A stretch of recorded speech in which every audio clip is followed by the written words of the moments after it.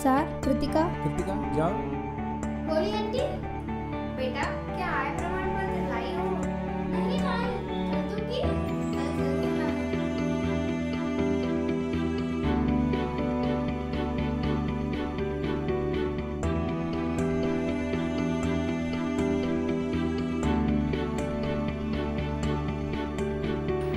आइए क्यों गुड़िया आई क्या? अंदर गृह कार्य कर रही है।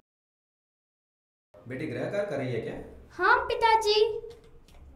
देखिए इतना गृह कार्य है। थोड़ा सा तो है ना? जल्दी से कर ले और क्या? पिताजी स्कूल में आय प्रमाण पत्र आय पूछते हैं। घर में है ना? रोहिणी? जी आ रही हूँ। देखना आय प्रमाण पत्र रखा हुआ शायद। बीरो में ही होगा मैं देखती हूँ।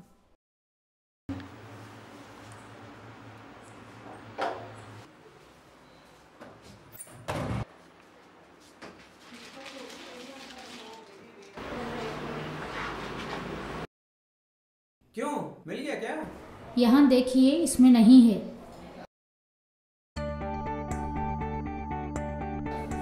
तो अब क्या करें? रुक जा जल्दी। शायद मेरे दोस्त के पास लोकल नंबर होगा क्या। मिलेगा?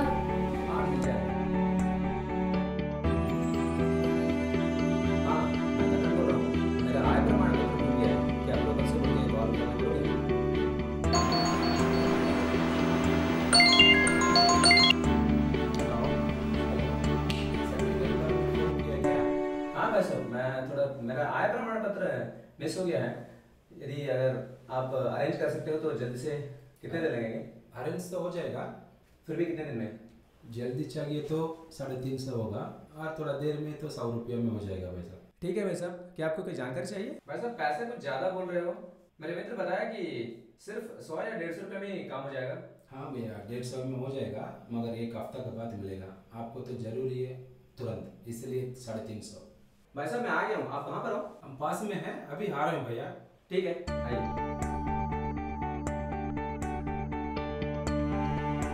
रेशन कार्ड तो हाँ कोई प्रॉब्लम नहीं है। सारा सर्टिफिकेट आप लेके आइएगा।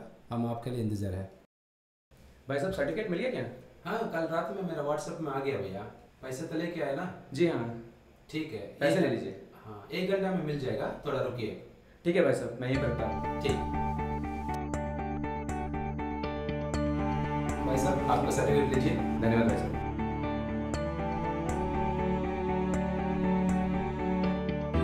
क्या प्रमाण पत्र स्कूल में दे दिए? हाँ बेटा वो तो सवेरे मैंने स्कूल में दे दिया। क्या? स्पर्श ही दे दिए? कैसे? माँ ने बोला कि दो या तीन दिन हो गए। हाँ मिल गया लेकिन थोड़ा पैसा खर्च करना पड़ा। फिर भी आजकल तो हर काम तो पैसे के बिना कुछ बनता नहीं है। वैसे भी हर क्या? काम पैसे हो देने गया। पर आई कार्ड सब कुछ ले सकते हैं?